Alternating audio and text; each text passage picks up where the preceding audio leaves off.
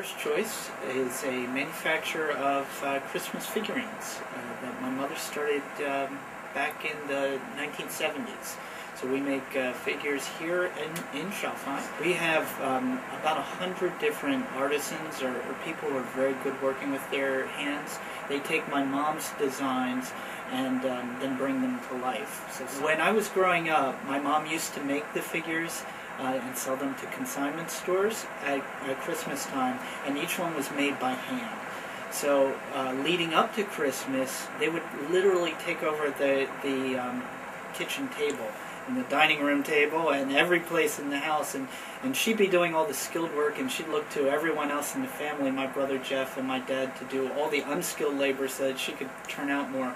And by the time Christmas got around, she'd go, enough, we're never doing this again. Until, of course, the next Christmas came around, and then we found ourselves back at it.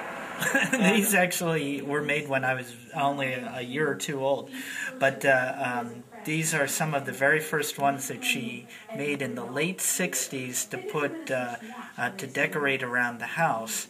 And from these, the relatives came over and decided that their, their positive comments meant that my mom uh, made them for Christmas presents the next year, and from that, uh, it just grew into the company that it is today.